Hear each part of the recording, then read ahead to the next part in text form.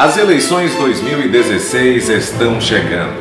E você, candidato ou candidata que precisa de uma boa voz no seu programa eleitoral, em vinhetas pontes, a abertura e o encerramento, é só você falar comigo.